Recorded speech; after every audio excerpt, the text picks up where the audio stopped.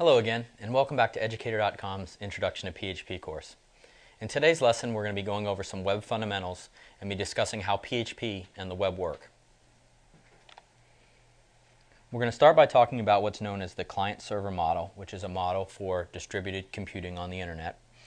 We're going to talk about the HTTP protocol, which is used when browsing web pages. We're going to talk about something you may be uh, a little familiar with already, which is uh, URLs or Uniform Resource Locators. And we're going to discuss how these different things work together to serve web pages from a web server to a client.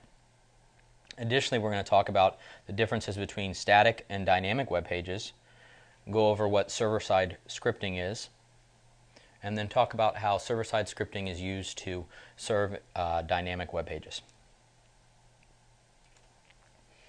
Uh, so first off, the client-server model is basically a distributed computing model that describes how information is exchanged on the web or over a network. It describes communication between two different parties, uh, one known as a client and one known as a server.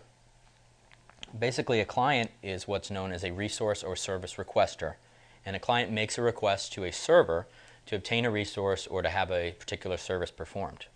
On the other side of things, a server is a resource or service provider that either provides a requested resource to a client or performs a service request a service requested by the client. One thing to note is that um, the term client and server both can kind of have several meanings.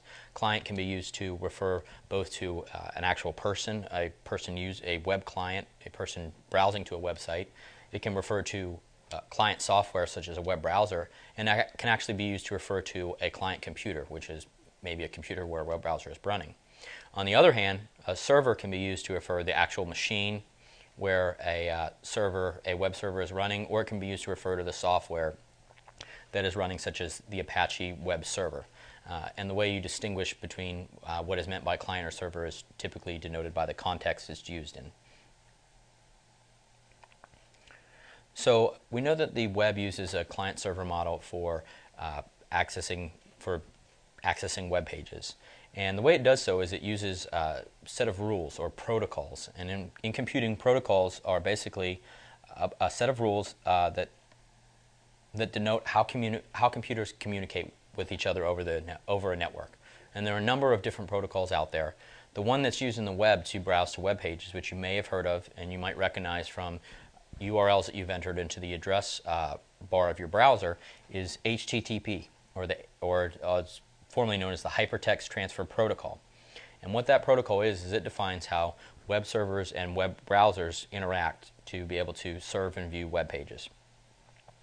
Um, whenever you type an address in your web browser, such as this, uh, you'll notice that there's the HTTP uh, four-letter uh, mnemonic at the beginning of the of the link, and what that is uh, basically doing is specifying your web browser that you want to request a particular PHP page uh, or excuse me, a particular web page, and you want to use the HTTP protocol to do it.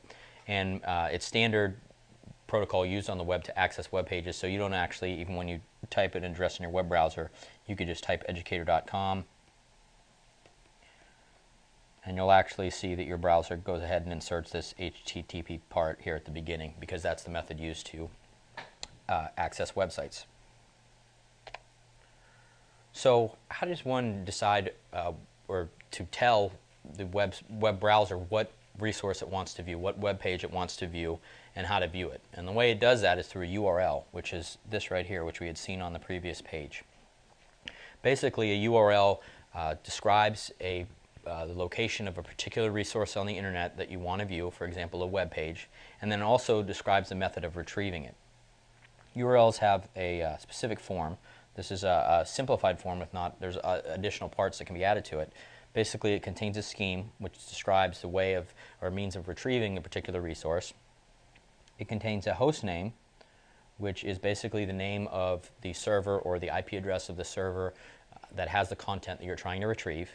It can optionally have, well, it actually always has in the background a port specified, which says how uh, on what port you want to connect to the particular server and that's uh, port is a networking term that's used it, that describes how uh, basically computers communicate with each other, and they do so using ports, which are basically uh, numbered assets on a computer, for example, port 80, port 100.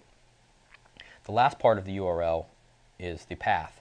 And basically what that is, is the, is the path to the uh, resource you're trying to find on the, on the server that you're uh, communicating with. So for accessing web pages, URLs typically have the form shown here. Uh, for the scheme, it has, as we saw in the last slide, the HTTP specified. And that specifies that it wants to use the HT, that you should use the HTTP protocol to load uh, a particular uh, resource on the web. In this case, the resource is a file called index.html and then index.html is located in the PHP directory on the server educator.com.